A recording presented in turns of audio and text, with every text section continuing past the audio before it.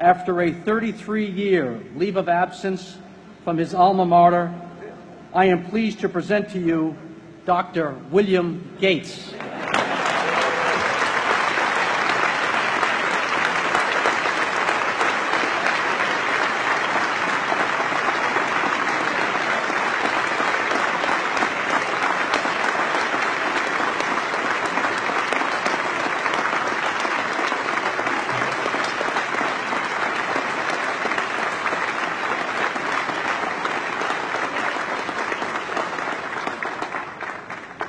Thank you.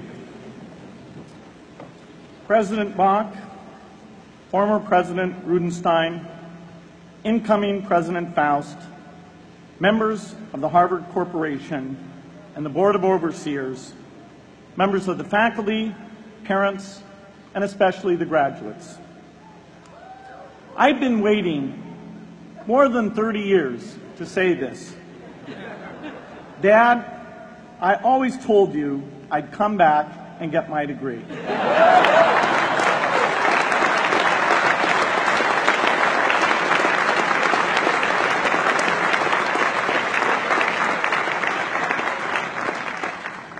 I want to thank Harvard for this honor.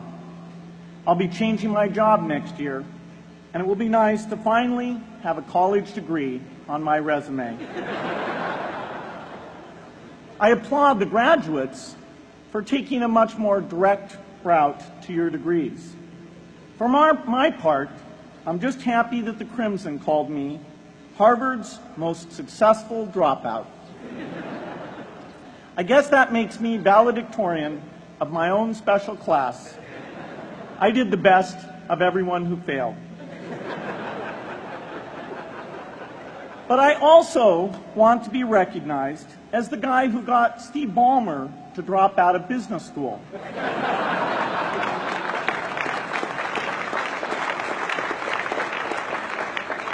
I'm a bad influence. That's why I was invited to speak at your graduation. If I'd spoken at your orientation, fewer of you might be here today.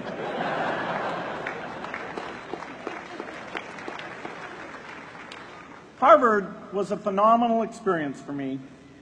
Academic life was fascinating. I used to sit in on lots of classes that I hadn't even signed up for. And dorm life was terrific. I lived up at Radcliffe in Currier House.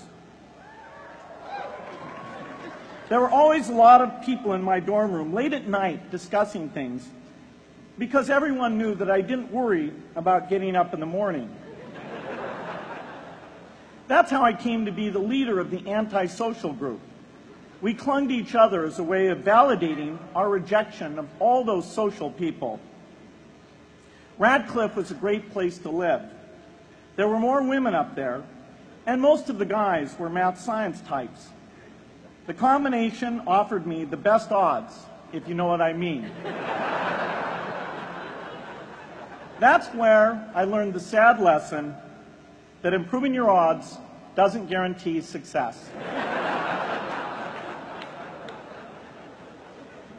One of my biggest memories of Harvard came in January 1975 when I made a call from Currier House to a company in Albuquerque, New Mexico that had begun making the world's first personal computer. I offered to sell them software. I worried they would realize I was just a student in a dorm and hang up on me. Instead, they said, We're not quite ready. Come see us in a month, which was a good thing because we hadn't written the software yet. From that moment, I worked day and night on the extra credit project that marked the end of my college education and the beginning of a remarkable journey with Microsoft. What I remember above all about Harvard was being in the midst of so much energy and intelligence. It could be exhilarating, intimidating, sometimes even discouraging, but always challenging. It was an amazing privilege. And though I left early, I was transformed by my years at Harvard, the friendships I made, and the ideas I worked on. But taking a serious look back, I do have one big regret. I left Harvard with no real awareness of the awful inequities in the world, the appalling disparities of health and wealth and opportunity that condemn millions of people to lives of despair. I learned a lot here at Harvard about new ideas in economics and politics. I got great exposure to the advances being made in the sciences. But humanity's greatest advances are not in its discoveries, but in how those discoveries are applied to reduce inequity.